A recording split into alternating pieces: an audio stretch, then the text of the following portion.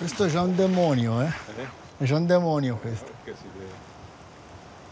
Eh, è morto 2006, 2005, 2006. Sì, nel 2003 c'era la qualche ultima fogliolina, eh, già Eh sì. E dopo è morto, poi abbiamo deciso non possiamo ancora aspettare che muoiano tutti questi testimoni del passato, quindi abbiamo iniziato a- in grande stile. Ma io direi che il 70% dei castagni grossi li abbiamo salvati per alcuni decenni. Sì, comunque rispetto a quello che vedevo io come stato di salute, si vede che c'è stata una reazione. eh. Gli alberi hanno reagito al vostro intervento, hanno reagito positivamente. Quando siete entrati io non ero affatto sicuro che, che- che il vostro intervento potesse ravvivare qualcosa, perché mi sembrava talmente compromesso.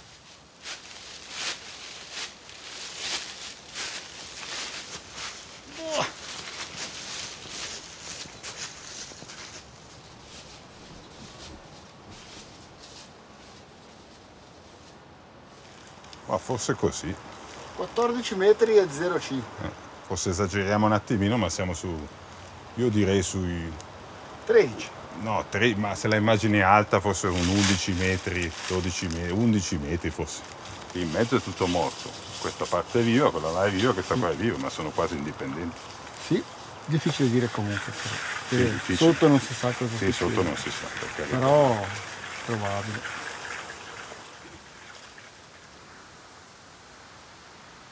Chaque arbre a son caractère à lui, et tu te rapproches et tu, trouves réellement un individu. C'est pas un arbre dans une forêt comme ça, euh, ils se semblent tous le même. C'est comme se rapprocher d'un un individu euh, avec des branches et des feuilles et, et un âge incroyable derrière lui.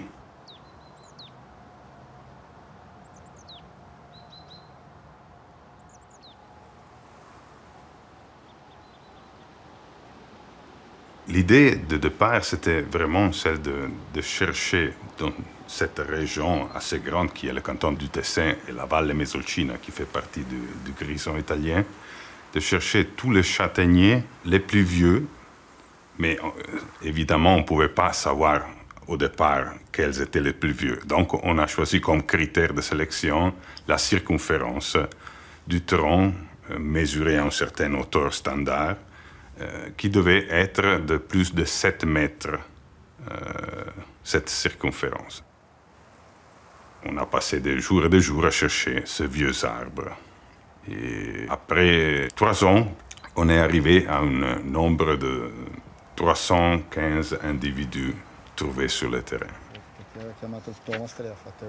Mais on estime que les plus vieux s'avoisinent du millénaire comme âge. Par contre, la majeure partie sont plutôt du côté de 300 ans, 500 ans, entre ces deux-là. Sì? No, la mia No, questa è quella sotto. C'è ancora Sì, però. Sì, guarda.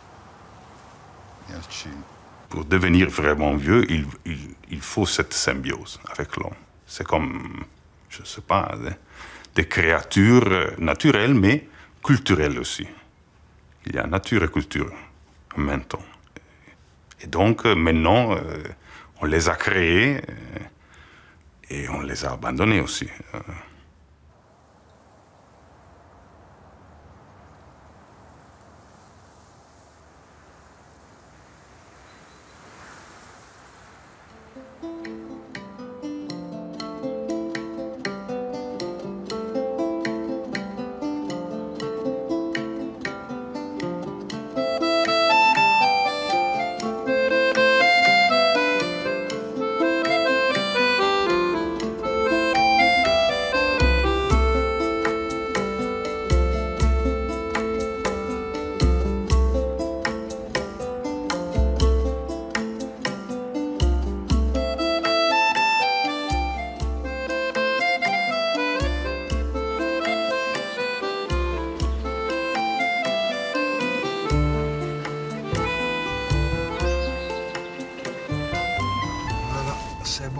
C'est bon en bas, oui, c'est bon en bas.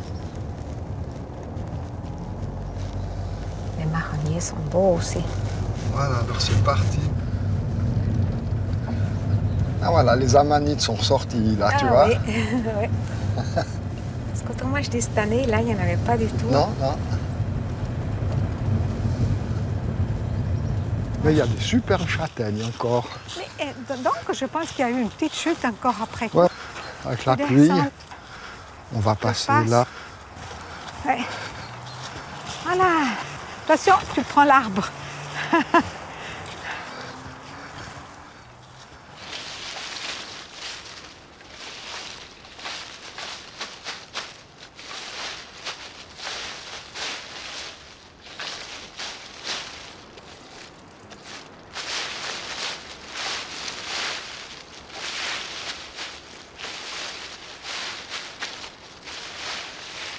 Cette châtaigneraie vient de ma famille. Et puis maintenant, c'est nous, les, descendants, qui tâchons de l'entretenir un maximum. Alors, euh, on travaille bien depuis le printemps, on continue l'été. Et puis, alors, euh, en automne, on a beaucoup à faire, entre ramasser les châtaignes et nettoyer de nouveau.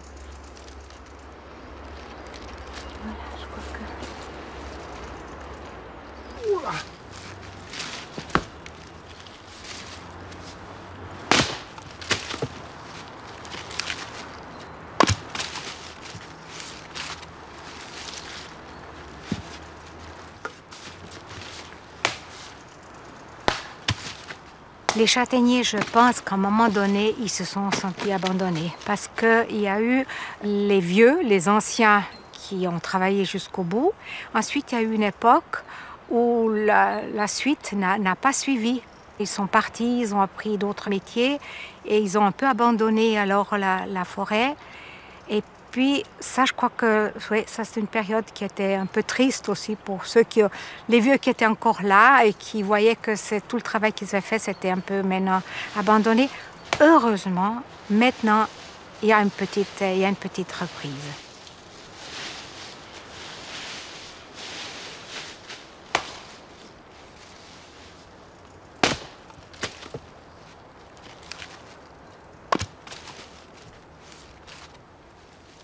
Quand j'étais petite et qu'on venait ramasser les châtaignes, avec mon frère et ma sœur, eux, ils travaillaient. Ils étaient actifs, ils avançaient, ils savaient ce qu'ils devaient faire et ils ramassaient. Tandis que moi, paraît-il que je regardais les arbres, je regardais en haut, je, je rêvais.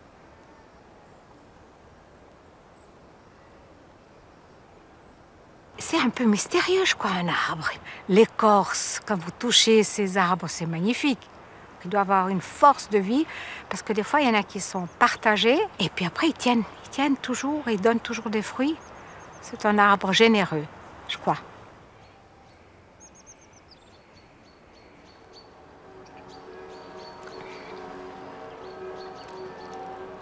On entend les cloches et les oiseaux. Les cloches. hein. Et les oiseaux. Ouais. On entend les oiseaux. T'as pas pris de chocolat, quelque chose Tu sais, tu devrais contrôler comme je fais le sac le matin. Ouais, moi je pensais qu'il y avait plus dans le sac.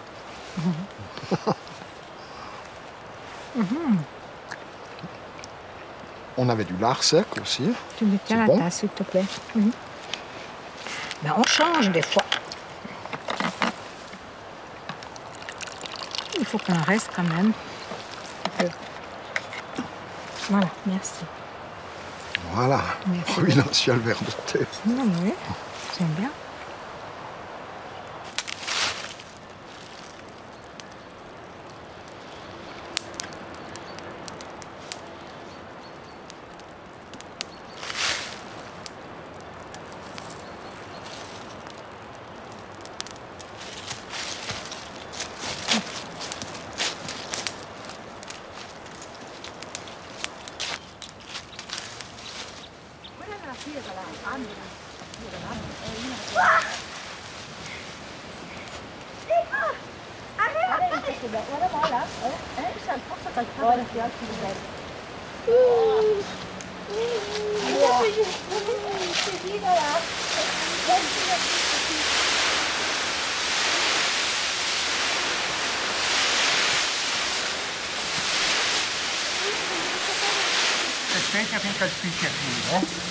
Vamos passar junto. Vai? Fica.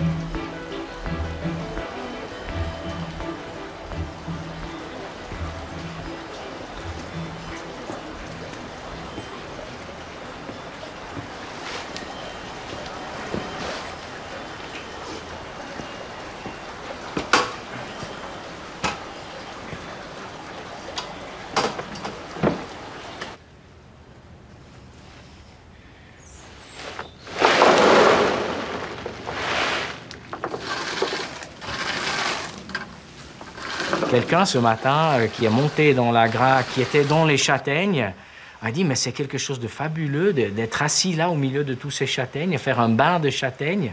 C'est une sensation que j'ai jamais éprouvée. J'ai dit oui, c'est vrai, en fin de compte. Moi aussi, j'aime bien monter là-haut quand il faut remuer les châtaignes et la fumée autour. Et puis, euh, mais tu as ce contact avec la nature d'un côté, mais c'est aussi un contact avec la culture, avec nos anciens, en fin de compte. Donc, euh, on retourne là, euh, justement, à, tenir, à essayer de garder une mémoire vivante. C'est ça le but, le plaisir aussi de le faire.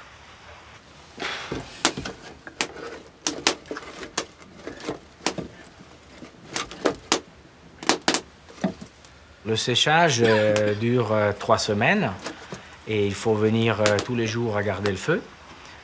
Trois fois, peut-être même quatre. S'il fait un temps comme ça, évidemment quatre.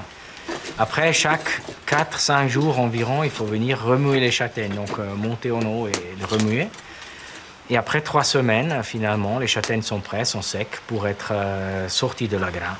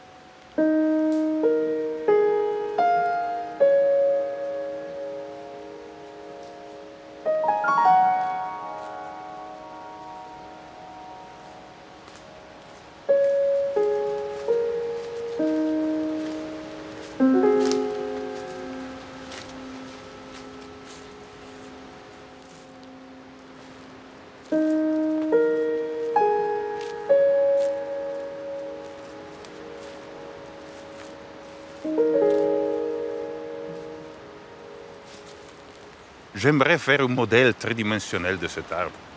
Mais c'est impossible, même dans un modèle tridimensionnel, il disparaîtrait, c'est impossible.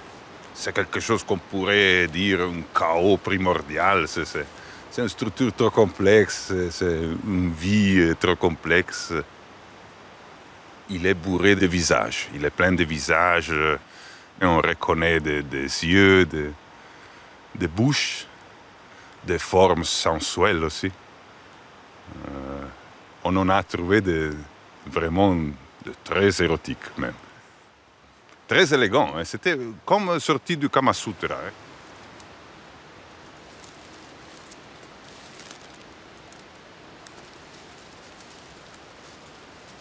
Ce vieux châtaignier, il a une grande plasticité.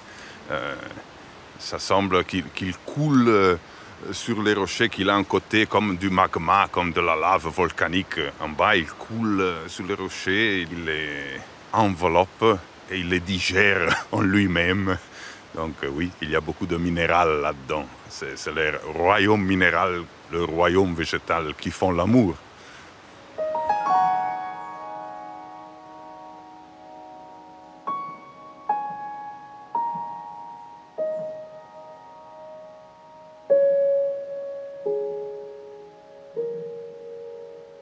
Les choses abandonnées me, touchent, euh, toutes les choses liées au passé. Euh, si je, me regarde en arrière, je vois que tout ce que j'ai, euh, tout ce qui a capturé ma curiosité, disons scientifique, même si c'est pas tellement seulement scientifique. C'est scientifique, mais il y a aussi la curiosité infantile derrière. Heureusement, heureusement qu'il y a ça et cette curiosité est liée euh, euh, justement au, siècle passé. Euh, c'est foudroyant pour moi. même si je vois récemment, on a, on a étudié un vieux manuscrit avec des lois très anciennes écrites dans un italien dialecte, dialectoïde incroyable lorsque j'ai touché ce livre, c'était comme, si j'entrais dans un Harry Potter, je me, je me plongeais dans ça. C'était vraiment euh, euh, plus fort que moi.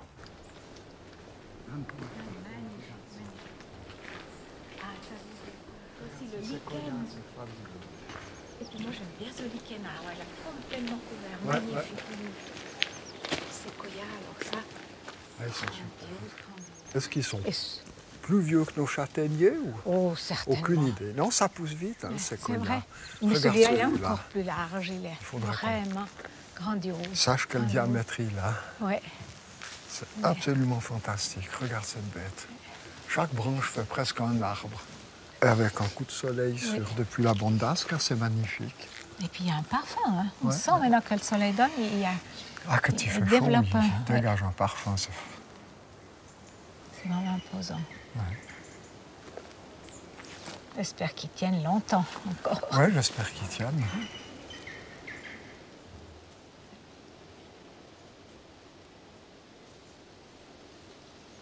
L'automne est un moment de passage, en somme, où on, on dit, ben voilà, une année est finie, une année euh, se termine, il y a un cycle qui est accompli, euh, euh, on va vers un hiver, après une saison, une saison euh, chaude et tout, et, et vraiment, c'est ouais, un passage, je Ah pense, oui, hein. certainement. On Ouais. sent la fin d'une on on sent cette, année. transition.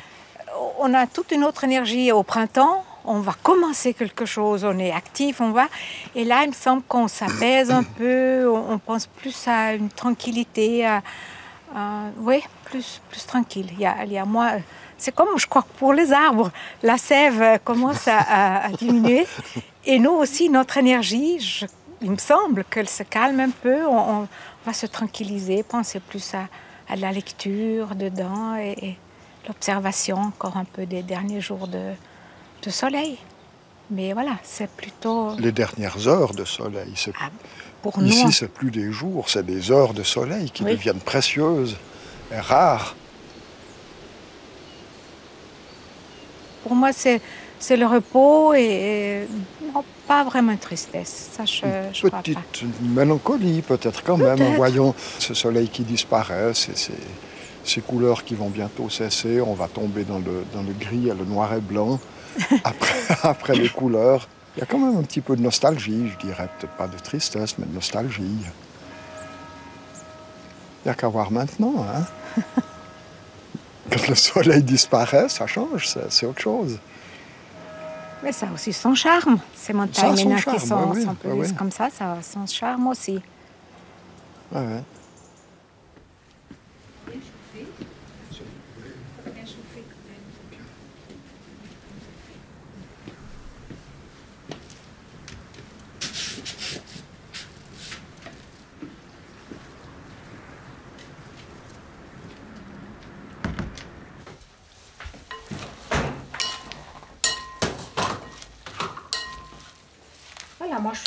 Pierre, je crois. Ouais, la il est très chaud. Regardez au chaud notre. Voilà. Bon appétit. Bon appétit, Nelly. Tu veux de la salade? Volontiers, encore un petit peu, juste sur le côté là, pas trop. Voilà. merci beaucoup. Hop là. Voilà. L'arrêt crème, j'espère que le cardiologue ne verra pas ça. Oui, j'espère. Oui, c'est bon. Elle est cuite. Guarda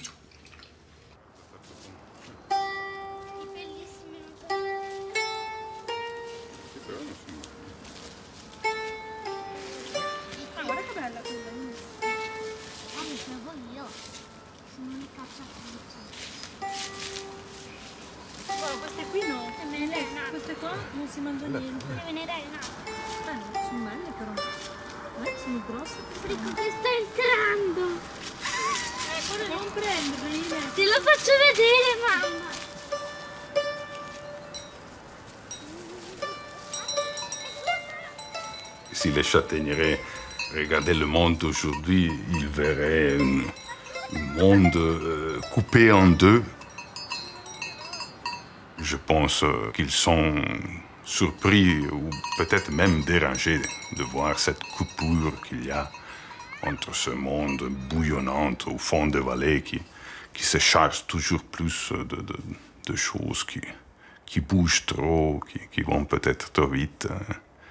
Et puis tout ce monde oublié là-haut. Et eux, ils sont plus ou moins à moitié, hein, parce que le- les châtaigneraies sont dans la moyenne montagne. Et eux, ils voient vraiment cette frontière entre ce que nous bâtissons, nous construisons, nous détruisons, nous changeons, et puis tout ce qu'on on oublie là-haut. Et tout ce qu'on oublie là-haut, c'est c'est tout le monde qui a fait notre euh, identité, notre, euh, notre survie dans les siècles passés. Et maintenant, c'est presque tout oublié. Voilà. Donc, euh, je pense qu'il se questionne de ce qu'on va faire, si on va faire peut-être quelques bons choix, peut-être dans l'avenir, ou si, ou si c'est trop tard. Je ne sais pas. Des fois, je me demande pourquoi pas. Ça pourrait être trop tard. L'autunno è arrivato le porta via dai rami bruni le foglie. L'autunno le porte che nostalgia per le piante spoglie, per le piante spoglie. Mi piacciono i colori dell'autunno Invece l'inverno ci regalerà tanta neve bianca, tanta neve bianca.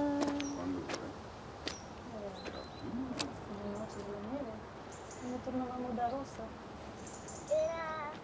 c'era la neve, no?